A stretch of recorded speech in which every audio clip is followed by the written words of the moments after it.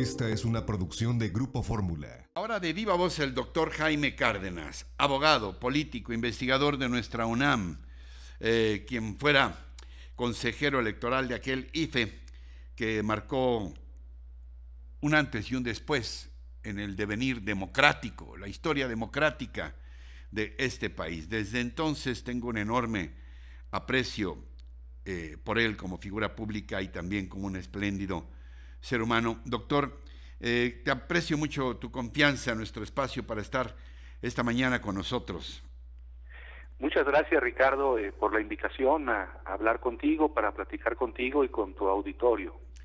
A poco más de tres meses de asumir el cargo, has decidido renunciar a la dirección del Instituto para devolver al pueblo lo robado, el INDEP. Te entrevistamos entonces, eh, bueno, cuando te nombraron.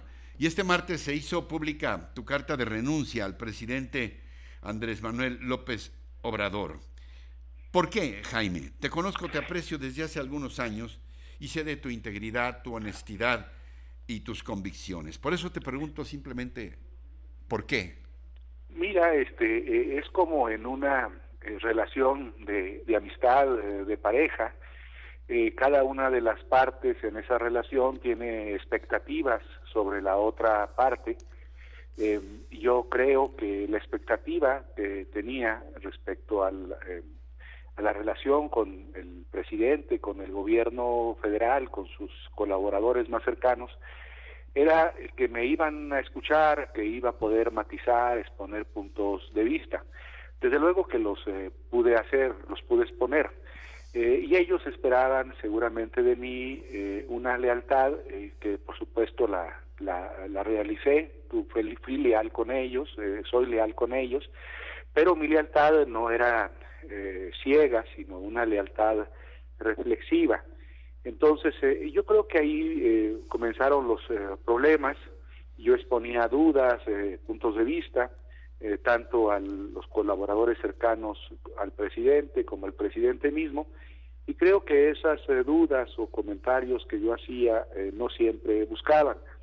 Eh, el presidente, como sabemos, como eh, los políticos distinguidos o los políticos importantes, eh, piensa que la política es de resultados y que sobre y que lo que vale fundamentalmente es atender o obtener o conseguir esos resultados. Y yo, desde luego, estoy de acuerdo con ello, que la política se mide por sus resultados, su valor está en los resultados, pero también eh, como abogado que soy, por mi formación, insistía en procedimientos administrativos, en cumplimiento de normas administrativas, y a veces eso se veía como un obstáculo para la toma de las decisiones y para conseguir los resultados. Entonces eso fue generando en el plazo de estos tres meses pues eh, muchas eh, molestias, pérdida del respaldo del, del presidente, que yo lamento mucho, y, fue inevitable eh, que se diera esta salida. Eh, varias veces el presidente eh, cuestionó mi, pues mi formación de abogado, mi carácter formalista, mi, mi, insistencia en los procedimientos, y yo decidí que era lo mejor para, para el bien de la institución que, de la que era titular, y por eso presenté eh, mi renuncia, Ricardo. Por supuesto, lo hablé antes con él, le comenté, él estuvo de acuerdo y bueno, quedamos en, buenos términos. Yo reconozco todo el apoyo que él me dio, eh, su generosidad hacia mí, y es lo que te puedo comentar. Bueno, pero el apoyo que tú también durante años le has dado, me consta, con una enorme convicción al López Obradorismo. Eh, ¿Cuáles son, Jaime? esto no es un interrogatorio, es una entrevista una entrevista cordial y no, no, no voy a, intentar este, insistirte demasiado, pero la pregunta la tengo que hacer. ¿Cuáles las principales irregularidades que tú encontraste y cuáles, pues, eh, las más importantes corruptelas, los hechos de corrupción que tú descubriste en tu gestión breve?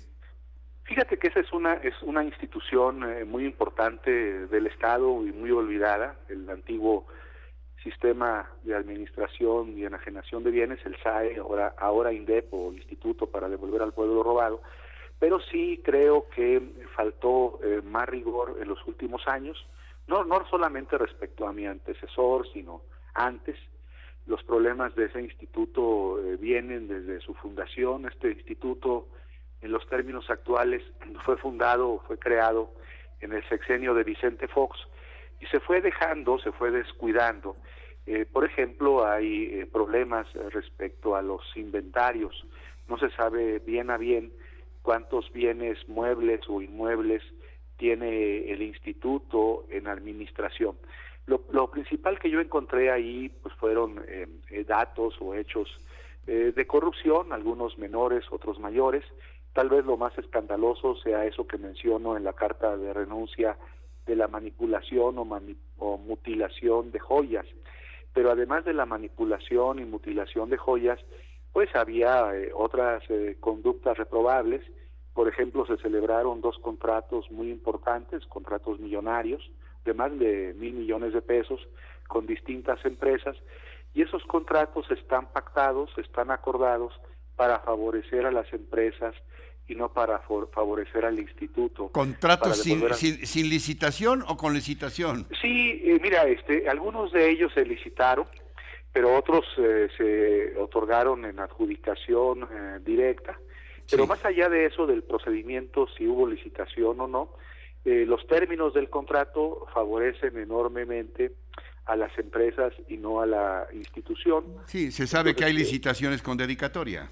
Así es, son licitaciones tal vez preparadas eh, o amañadas, pero por eso te digo que ese procedimiento, más allá de que se haya cumplido, eh, lo importante es el fondo, ¿no? ¿Cuáles son los, eh, los términos, los acuerdos que existen en cada contrato? Y analizándolos encontramos que había ahí pues elementos que sí afectaban al patrimonio del Estado mexicano. Jaime, dos preguntas finales. ¿Qué pasó con aquellos dos mil dos mil millones de pesos que donó el eh, fiscal general en un acto verdaderamente insólito. ¿Cómo que una entidad como la Fiscalía le entrega dos mil millones de pesos al presidente, que se supone que iban a ir o estaban siendo administrados por la institución a la que has renunciado? Pues mira, esos dos mil millones están aún en las cuentas públicas, están en una cuenta de la Tesorería de la Federación, por lo tanto no pueden ser embargados, porque el instituto tiene muchas deudas. y se los digo a todos los eh, que pretendan embargar esos recursos, están en, una cuenta de la tesorería de la federación, no, no se va a poder embargar, no se han tocado, están generando intereses esos recursos, eh, pero no se pueden utilizar. Y hay un, eh, pues una suerte de diferendo con la fiscalía, en donde nosotros hemos insistido, tanto mi antecesor como yo, aquí debo hablar de mi antecesor muy bien, tanto mi antecesor como yo hemos insistido en devolver esos recursos, eh, pero no nos hemos puesto de acuerdo con la Fiscalía, y la Fiscalía no los ha recibido o no ha decidido recibirlos. Pero ahí están los recursos, no se han tocado, Ricardo. Eh, Jaime, eh, estamos viendo la parte más visible del, instituto, que son las famosas subastas de autos, de propiedades, etcétera. ¿También descubriste irregularidades ahí? ¿Cosas raras? Eh, mira, ahí el problema es sobre todo, o había el problema con los avalúos. Eh, eh, se, se, evaluaban, se evaluaban los bienes, a veces a precios muy inferiores a los, obviamente, los del mercado, los precios comerciales. Entonces, una de las primeras medidas consistió en cambiar las normas administrativas, lo que hicimos, para este, establecer una nueva metodología a fin de elaborar avalúos eh, más realistas. Esas directrices, así se llaman las normas, esas directrices ya fueron aprobadas, las estamos aplicando y desde hace, pues desde que llegué, se están aplicando en las subastas. Entonces ahí el problema era sobre todo respecto a los avalúos, que eran muy bajos, ¿no? Y también eh, hay otro tema muy importante, el instituto hace subastas electrónicamente. Ese sistema fue suspendido eh, por decisión de un funcionario de la presidencia, no del presidente, desde más o menos marzo, desde el inicio de la pandemia hasta ahora. El sistema electrónico se ha revisado, eh, sí había problemas en ese sistema electrónico que podían, eh, ese sistema electrónico podía favorecer a algunas personas, ya se corrigió y eh, será muy importante que el próximo director del, eh, del instituto pues ponga a, a, funcionar las subastas electrónicas para llegarse de recursos y pagar pues todo lo que debemos a trabajadores de luz y fuerza del centro, a trabajadores de ferrocarriles de México, a los propios proveedores. Entonces, sí, era una, es una institución muy noble, pero con muchos problemas administrativos que se habrán de corregir seguramente en los próximos meses y años.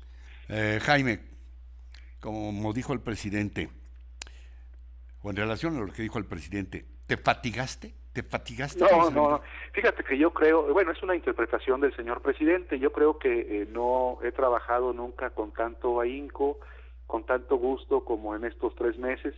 Creo que mis más cercanos eh, colaboradores te lo podrían corroborar. Eh, fue un trabajo intenso, duro, para nada me fatigué desde luego que sí hubo momentos de desaliento cuando se daban estos diferendos con el equipo del presidente. ¿Te vas desilusionado del presidente y de su 4T? No, no, no, mira, yo respeto mucho al presidente, le tengo un gran aprecio personal.